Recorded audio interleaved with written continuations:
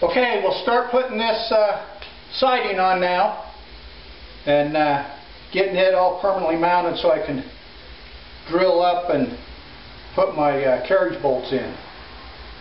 So we'll go ahead and do that now.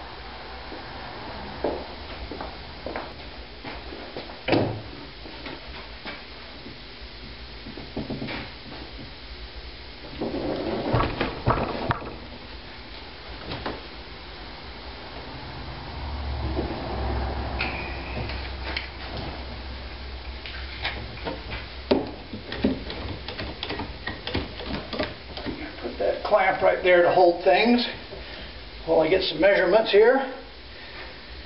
All right.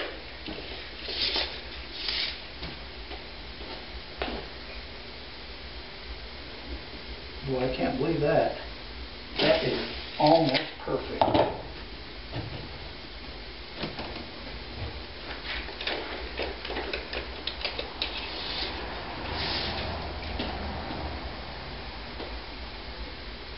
Right there.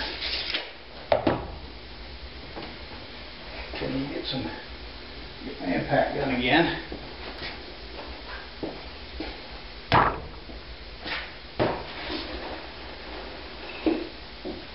We'll put some of these big old deck screws in here. That'll hold everything in line pretty good.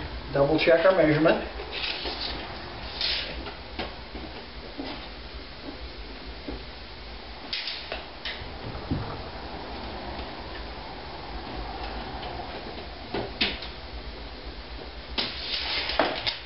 Okay, it looks good.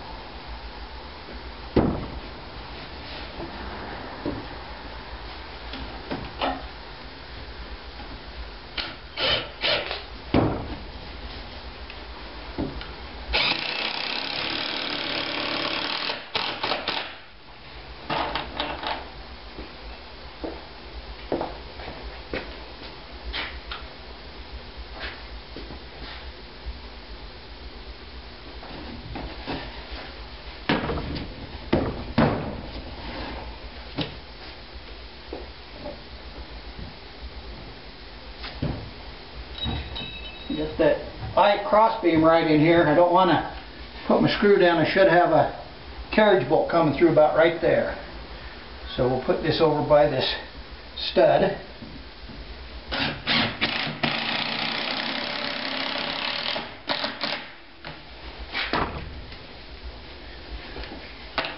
Okay.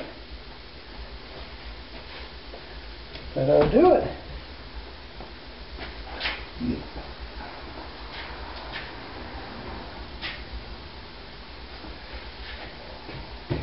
Double check my top measurement here.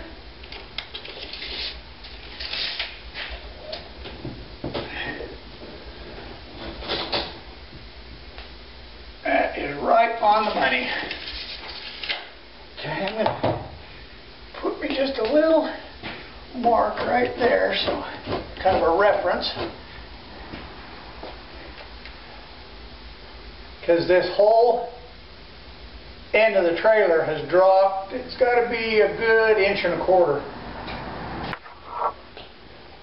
Now this cabinet here has dropped a little bit along with the, the uh, roof. So we're going to jack it back up into place. Got to release my clamp. Should stand there all right with them deck screws in there. Okay, yeah, that's holding good. That awning rail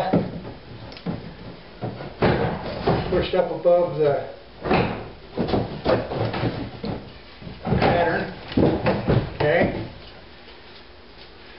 All right, now we'll just lift that up until things line up. Put this piece of wood up there so it doesn't mess up the cabinet. I think I can just refinish that and replace it. So, uh,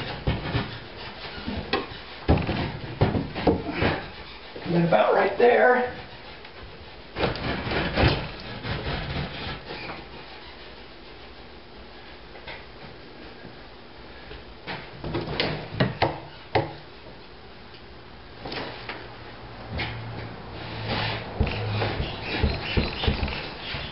A little bit more it looks like. Put that little piece of half inch right there. There, things popped into place. Yeah.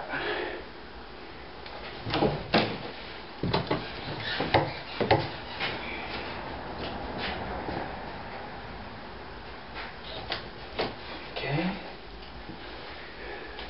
Make sure I haven't tweaked my measurement here. Yeah, just about a quarter off.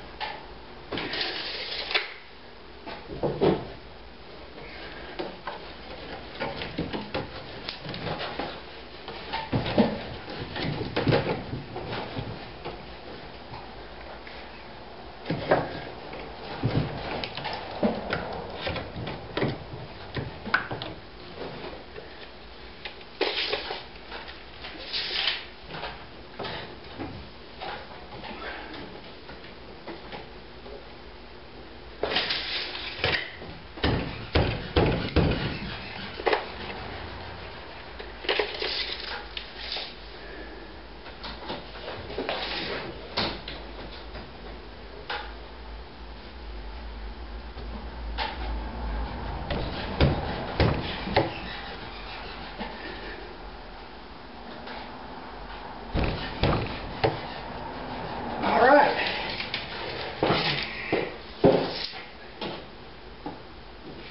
Okay, there's where it's gotta go.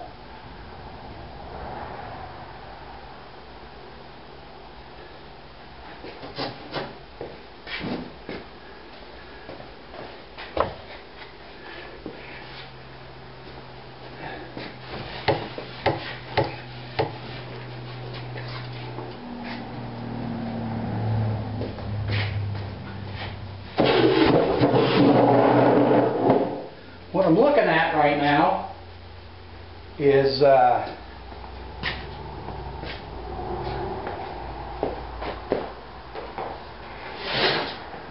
I'm looking right here to make sure this plane's in right on my mark there. That's too big, I gotta get some more square. And that'll determine whether I've got this too high or not. See, that's, that's showing just about